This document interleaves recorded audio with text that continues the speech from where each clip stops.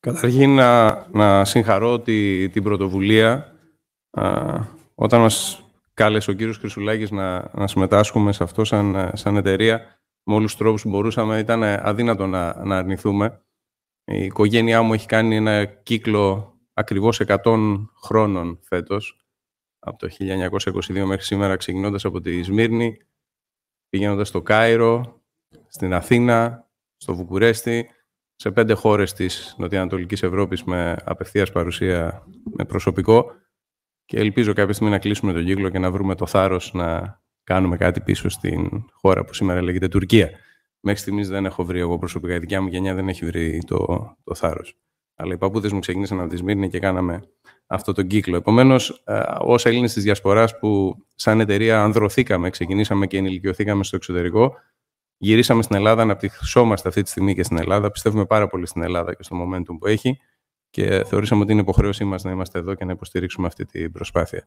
Και να συγχαρώ και το Αριστοτέλειο και το Πανεπιστήμιο Θεσσαλονίκης για το θάρρος που είχαν να ξεκινήσουν και το πρώτο ξενόγλωσσο πρόγραμμα.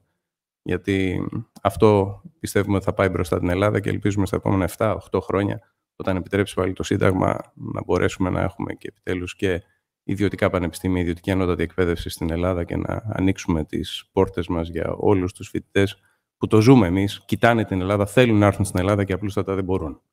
Αλλά η προσπάθεια που γίνεται αυτή τη στιγμή με τα ξενόγλωσσα προγράμματα στα κρατικά πανεπιστήμια θεωρώ ότι είναι πάρα πολύ θαραλέα και σας χαίρω και πάλι. Το δεύτερο που ξεκινήσω είναι να κάνω ένα disclaimer και μετά θα γυρίσω στα αγγλικά. Δεν είμαι ειδικός. Συνήθως οι άνθρωποι που μιλάνε για τεχνολογίες στην ιατρική επιστήμη και εφαρμοσμένη ρομποτική και digital technologies είναι either, είτε engineers είτε γιατροί. Εγώ δεν είμαι ούτε engineer ούτε γιατρός, επομένως συγχωρέστε μου την άγνοια και την ε, μη ε, εντρίφηση στα, στα φαινόμενα. Θα προσπαθήσω να κουμπίσω και να μοιραστώ κάποιες σκέψεις για το τι συμβαίνει αυτή τη στιγμή στον κόσμο. Και ξεκινάω με την ιδέα του democratization και η ιστορία που λέω συνήθως είναι η ιστορία μιας φίλης από, το, από τη Φλόριντα, από το Μαϊάμι, η οποία έχει μερικά uh, premium, uh, θα γυρίσω στα αγγλικά, owning some premium restaurants in, uh, in the South Beach. And she was always telling me that 10 or 20 years ago, life was very simple. If they wanted to promote a, a restaurant, they would simply hire a Hollywood actor. They would pay him some money, and then they would invite the press to be present there in the restaurant. Next day in the morning, there would be some pictures, some TV news in specific media, TV, the newspapers, and the magazines, and everybody would say, This is the best restaurant, let's go there. And things were safe and under control.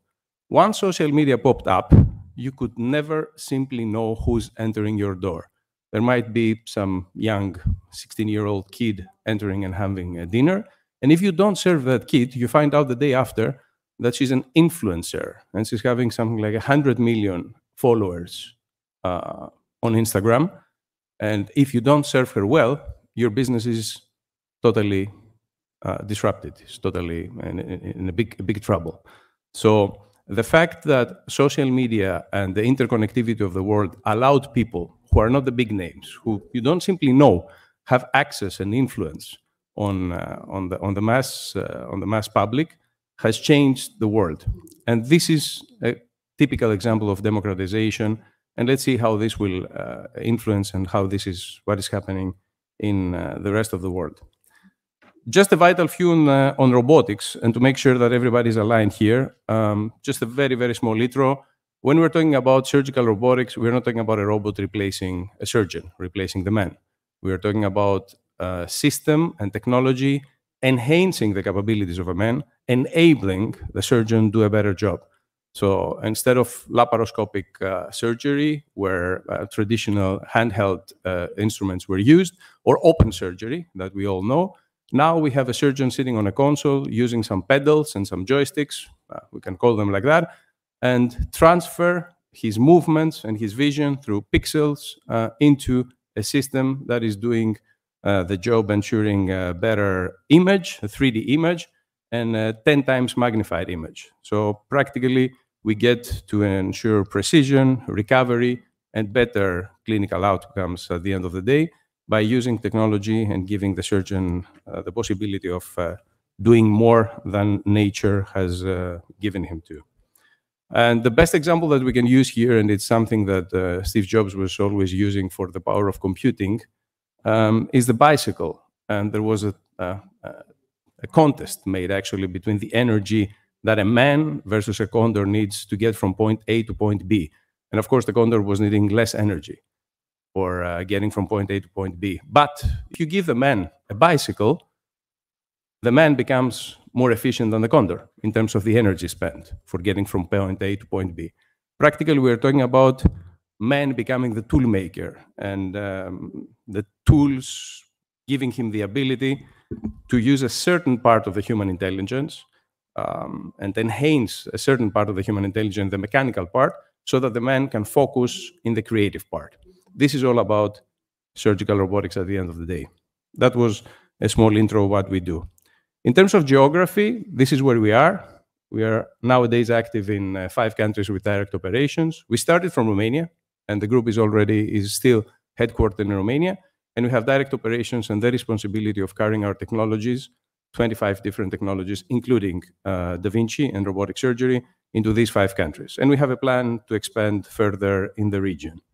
In terms of installed base of the robotic systems, just an update, there are 13, 3, 3, 11, and 12 systems.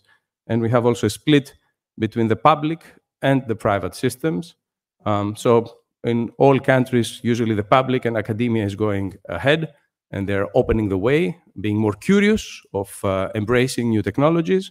So we see this in uh, Hungary. We just uh, two years ago, we opened the market of Hungary, and we have three active robotic surgery programs in the top university hospitals of Hungary. Romania, Bulgaria, there is a uh, reasonable split between uh, public and private. And here's Greece. So blue is private and red is public. And I will not criticize. Uh, we've been in Greece for uh, 20 years now. So the technology was adopted by the private sector and uh, there is one single system in the public sector in the oncology hospital of Metaxa in Piraeus. Uh, for some reason, the public sector has not uh, adopted yet this technology. I will allow you draw your conclusions. Um, we believe that we can, we can, um, we are facing actually, we're using um, a paradigm uh, shift in, uh, in healthcare. And we believe that we are just getting started. So uh, robotics or even any type of minimal invasive surgery is not yet the standard of care. Um, there is a huge opportunity for, uh, for robotics.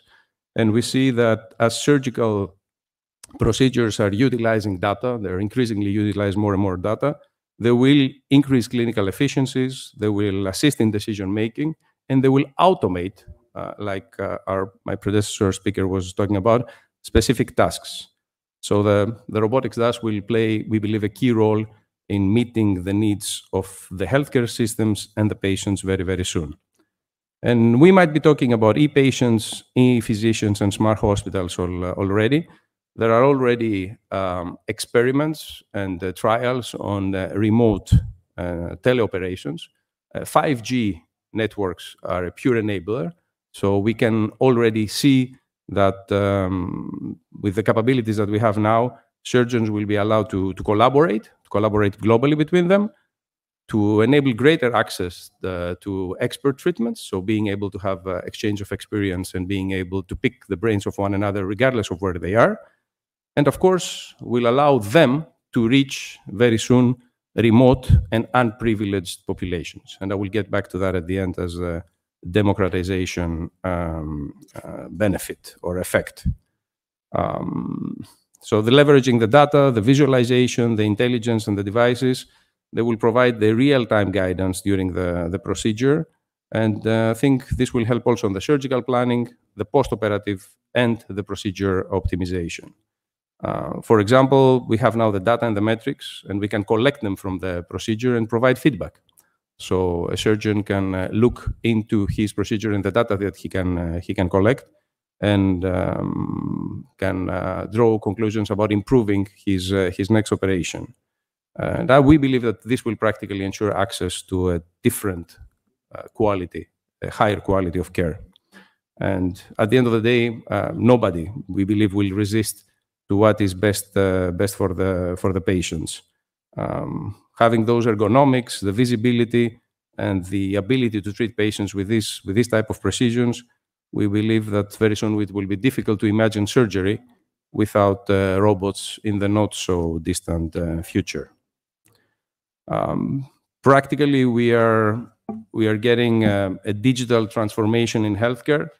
And what is happening is that we are having a different type of diagnosis. We have a technology-enabled diagnosis, technology-enabled treatment, and the monitor of the patient. So we are diagnosing the patient, we are treating the patient, and we are monitoring the patient using uh, the technology.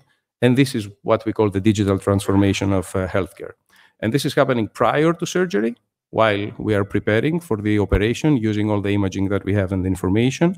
During the surgery, having online real time, the imaging that we need and the information that we can uh, we can collaborate and we can uh, provide the surgeon with, and the follow up after the surgery. Practically, the golden triangle of healthcare between the best outcome, the best clinical outcome uh, that we need to, to get medically, uh, the experience, the journey of the patient, and the total cost are being met. Plus, one factor that sometimes is neglected the experience of the surgeon, the experience of the healthcare professionals, because sometimes we tend to neglect how much they can resist. And uh, by the lack of uh, professional staff and uh, experts that we have in the world, you know, there is no, no country that has enough doctors, physicians, and nurses in the world nowadays, not even the richest one. The fact that we are enabling them to having a better life and to last more and have a better quality of work, I think is also a very, very key point. So from the triple aim, we think that with this type of digital transformation, we are also hitting the quadruple aim. Um, one thing that became clear also for us while using the technologies, and especially the, the, the surgical uh, robots, is that um, besides a tool and an enabler, this system practically is a creator of pixels. It's a generator of data, like uh, uh, the gentleman before uh, was very nicely talking about. So we, we were imagining that a surgeon is sitting on the console. Every movement that he's doing before being transferred into the bed, into the anatomy of the patient, is becoming pixels. And every picture that the endoscope is, is capturing before getting into the 3D 10 times magnified vision of the surgeon is pixels. If we take those two pixels and uh, those two streams of pixels and we analyze them and we get to the point that this famous black box will be analyzing uh, wisely the, the information, uh, we have a wealth of data that can really transform uh, uh, healthcare. For your information, nowadays a surgeon uh, can see his data on an app. There's an app, there's an application on their smartphones that they can check their performance, they can see their times, they can see uh, the moments that they had some uh, maybe some challenges during operation, and they can benchmark themselves with clear statistics exactly using those very pixels about how they have been progressing through the years, and they can benchmark themselves with their peers in the region or all over the world. So this is about real time, and this is this is happening as we speak. This is about the real time um, possibility for a, for a physician knowing how he stands and how he develops. I think this is this is priceless for uh, for their um, for their evolution. And besides the, this digital link with themselves, there is also a digital link that is uh, that is connecting them with the patients, because the patient can have access to the to some of this data. They can share information, they can share pictures, uh, images, and um, practically we can imagine a world where the surgeons, uh, the hospital, the hospitals and the technology providers, they can harness whatever AI and machine learning can uh, give us nowadays and can bring better outcomes for the, for the patients, personalized, customized training for the surgeons, and of course, let's not neglect lower cost for the hospitals. Now, to the, to the question if AI is better than humans in healthcare, we don't know if it's better, but we know that it can make humans better in healthcare. And uh, the point here is that we know uh, for sure that uh, machines are better already in recognizing patterns because uh, for the ones who are not experts and haven't practiced medicine here, the few ones, I guess, here in the room, um, um, um, diagnosis and, uh, and healthcare at the end of the day, medicine is about recognizing patterns. And machines uh, have been have become already better in recognizing patterns from one single source. but imagine how better they can become, and they are becoming, in recognizing patterns from multiple sources. Because we can have uh, CTs, we can have X-rays, we can have ultrasound, MRIs, lab tests, uh, conversation with the patients, um, the, the record of the patient, the, the electronic medical records. So if we take all this, and the more information we have, the more difficult it is to process them, and we put them in this famous black box, um, we can we can be sure that the machines, as they're getting better, will be drawing better conclusions than a human mind can uh, draw, and the machines don't get uh, tired, so they can be really being a great enabler for uh, for the surgeons anytime, any day. Um, practically, we're developing the AI and the machine learning, and we're using the robotics in order to to ensure um, actionable insights. And, uh, uh, and it's a virtuous cycle. We believe it's a virtuous cycle when, when we focus into the, into the training and to the, to the uh, practically nourishing, allowing the machines to, to collect, to, to create data. And we collect the data and we draw conclusions. It's practically a virtuous uh, cycle. We are harnessing the power of the data, we analyzing, uh, we're analyzing them, and what do we create? We create conclusions for the surgeons, for the care teams, and, uh, and the patients. And exactly this loop is what we have tried uh, ourselves as a group to nourish with uh, Academy. ISLE Academy is our innovation, simulation, and learning ecosystem uh, centers. We have three ones, two, uh, one in Athens, one in Bucharest, and a mobile in Bulgaria and Sofia. And we are uh, thinking of uh, opening another two. Uh, practically, the title there is training surgeons like pilots, allowing the surgical teams, not only the surgeons, getting their time, having a simulation of an OR, a place where they can sit with our systems, they can take their time, use the technology, and either learn new skills or simply prepare for a complex operation. So we had several cases where, in view of a hepatectomy or a partial nephrectomy, a team of surgeons would uh, get there, will take their time uh, and uh, on DOMs and specific uh, exercises will prepare in order to run for the first time a very complex operation the next day in the hospital in real life as prepared as uh, as possible. Um, we we we really uh, take pride in in giving them this uh, this possibility, and as we are proudly proudly say, this is the least thing that we can do and give back to the medical community that is trusting us by using our our technologies. Um, closing and uh, concluding and uh, getting back to the to the democratization uh, thing, um, I see overall this uh, democratization process on three different levels. It's the, the patient level, the medical community, the physician, surgeon level, and the healthcare systems or health, um, uh, health or national health systems programs. And I think when we start about the patient, the best example is the one uh, that was mentioned before by IBM Watson. I was shocked. It was almost 10 years ago when the first uh, study was published for um, four centers, one from uh, from the US, one from Japan, another one from Canada, and the, the fourth one from Europe, um, were compared the, um, uh, the, the outcomes on uh, specific lung cancer cases were compared from, uh, by this multidisciplinary tumor board versus the, uh, the algorithm, versus this uh, Watson uh, um, analysis. And on the lung cancer, it had reached back then 10, 10 years ago 86% accuracy. And people, of course, were looking on the dark side and they were saying, okay, what happens with these 14% of patients where the algorithm was wrong? Because, yes, when you have 86% accuracy, this means that you failed at 14% of the patients. And then the, the discussion at that conference exactly 10 years ago in, in Boston was that, yes, we consider this 14%, but we're talking about an 86% of, uh, of success rate for patients that were uh, practically practically had access and we compare them to the best medical boards, boards in the world. So we don't compare the performance of the algorithm to any uh, oncologist who is sitting anywhere in the world, you know, even in a remote and underprivileged area. We are comparing the outcomes of the algorithm versus the best possible healthcare that you can get. And the question is, how many billions of people have access to these top medical boards? So the fact that we are trusting technology and we are allowing it to be an enabler and give us the power is big time democratizing uh, healthcare. It is allowing patients that could never imagine having this quality of healthcare um, to make it accessible, uh, accessible for them.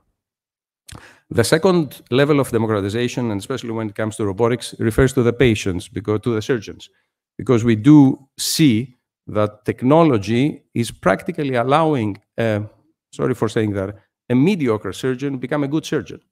So the whole process and the systems and uh, and the and the tools that are giving to a, an okay surgeon make them become a better surgeon. So the deviation that is happening at the terms of in terms of ability of a physician and the deviation that is happening during the case per se with the standardization and the automation that we have is getting smaller.